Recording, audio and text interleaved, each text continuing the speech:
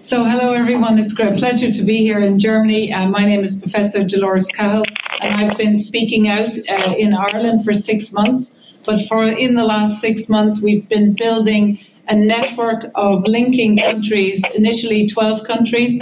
We're very happy to be involved with ISOFIA, which we have over 30 countries. Uh, and two or three months ago, we formed the World Doctors Alliance with Dr. Mohammed Adil. Uh, and then just um, on the 10th of October 2020, uh, more than 30 countries gathered together in Berlin with Dr. Heiko Schöning. And this weekend, just gone by, we gathered uh, with Monica Helleborg in Stockholm, in Sweden. And we have now, together with over 30 countries, formed the World Freedom Alliance. And what we want to do is to coordinate and link activities that are going on all around the world in individual countries and in regions and worldwide initiatives and in regions and worldwide initiatives. And in the World Freedom Alliance, we will have a committee or pillar of doctors and scientists, but also of all of the lawyers in the world. So, as you'll hear from Martin, we're working with lawyers, for example, working with Robert Kennedy and Rocco Galati uh, in Canada, and also with Craig Kelly in Australia. He's working with the legal team. So, what we want to do in specific issues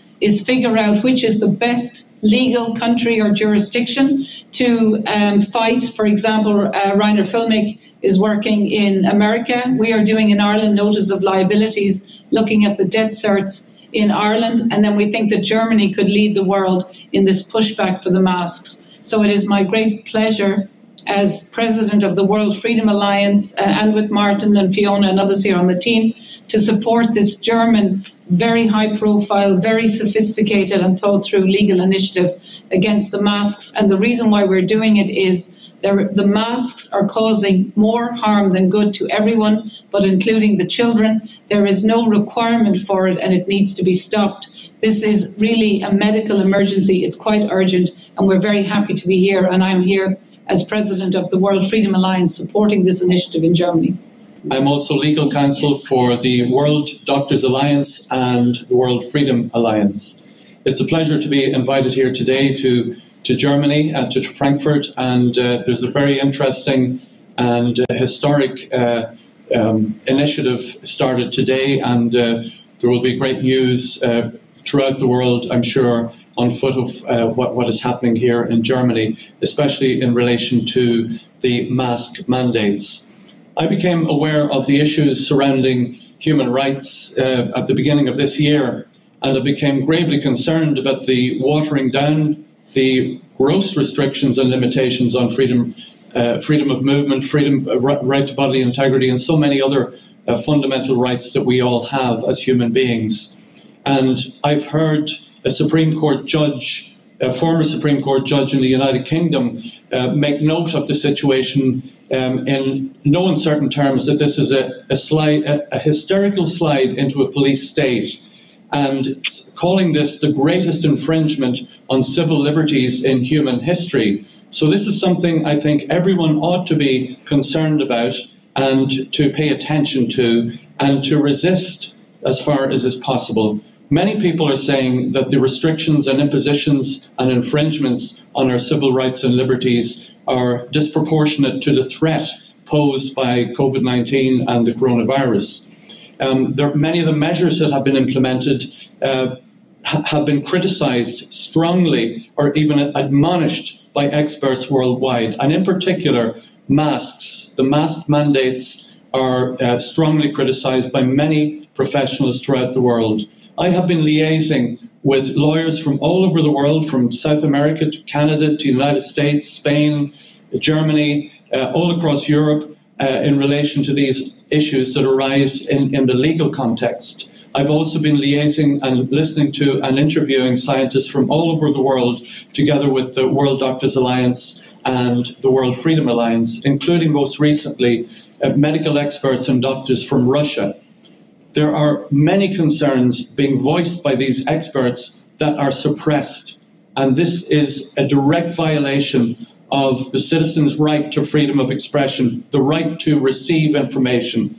What many people do not realize or understand is that the right to freedom of expression, which is guaranteed under the European Convention on Human Rights, Article 10 thereof, is we have a right to impart information, to express or to give out information, but we also have a right to receive information.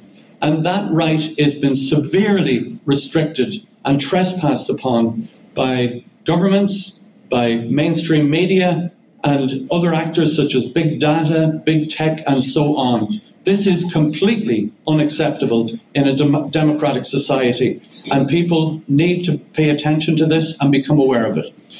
I, I have also grave concerns in relation to the mask mandates, particularly in relation to school children. I have listened to and interviewed medical experts from, from many countries, and they have voiced ex, uh, very grave concern in relation to mask mandates. And uh, this is an issue that needs to be addressed urgently.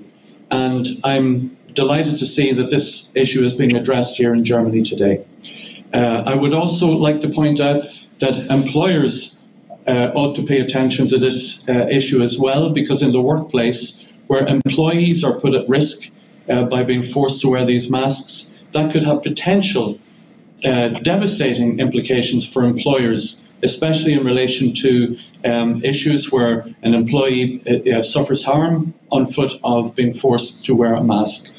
So these are issues that need to be addressed for the benefit of all. Firstly and foremost, in relation to the safety of children at school. Secondly, in relation to employees at work. Thirdly, in relation to the uh, general members of the public.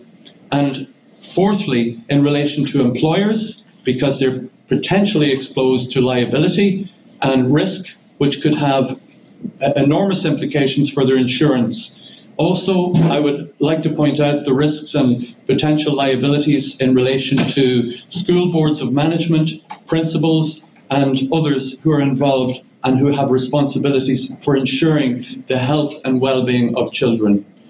So these are issues that need to be addressed urgently for the benefit of all.